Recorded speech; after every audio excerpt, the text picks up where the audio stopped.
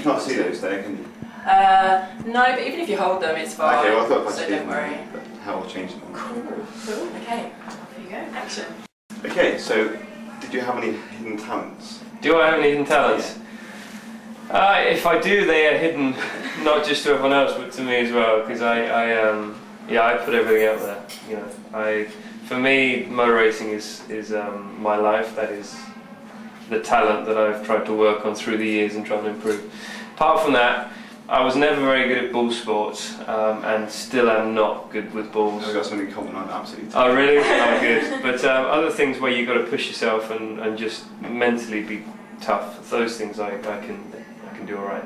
So how did you how did you do at school? Were you uh, academic or? I just been speaking to the engineers about this, uh, and basically I left school at 16 uh, because I was racing abroad, karting. Uh, I did one GCSE because uh, the others I was away for, the exams I was away for, uh, racing abroad. So it was more life experience than than doing exams at school. But the one I did get a, a result on was French, which I got a B in. Um, I can't speak a word of French. So I've lived there for 10, 11 years and I still don't you can ask for a ham sandwich, surely. Yeah, that's why you do it. yeah, I got, I've got like coffee shop French, uh, but I've got coffee shop Italian and coffee shop Japanese.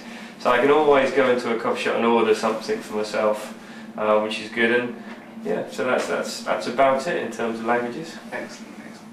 So we obviously know you have a healthy diet when you're racing. What's your guilty pleasure when you're not? You know, end of the season. What's the Yeah. first thing you go for?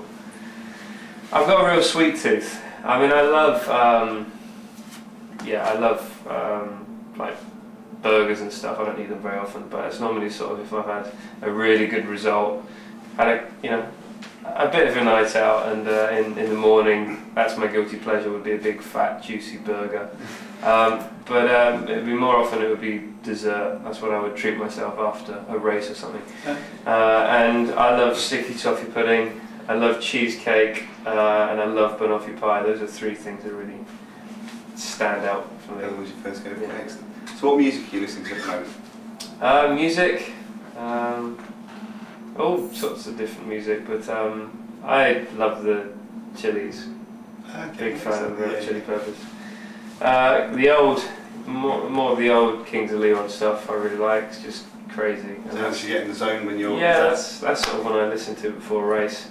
Um, but then I, I enjoy listening to like Bob Marley for chilling out, um, um, Paolo Nutini for chilling out as well. So yeah, there are lots of different things. And then Prodigy as well, you know. depending on the mood. Exactly, Prodigy's great for training. Yeah. A couple of times I've been cycling up in, in France and, and Monaco up in the hills, and I've had a friend following in like the safety car behind, you know, blaring out Amazing, yeah. Prodigy music. So. Excellent. So when's the last time you saw a live act? Uh, in terms of music, Yeah. um, uh, what was that? Wow, it was a long time ago, obviously. Uh, Kings, probably. Yeah. Yeah, in uh, in London.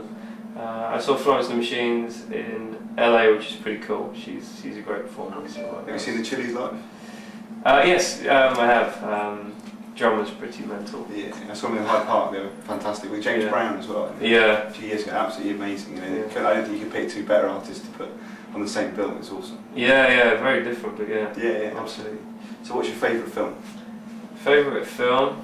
Uh, growing up, it was Cruel Intentions. I loved Cruel Intentions. Uh, pretty unusual film, uh, and not something I would recommend. um, but um, apart from that, I'm a big James Bond fan. I love action films, so the Bourne um, films and James Bond.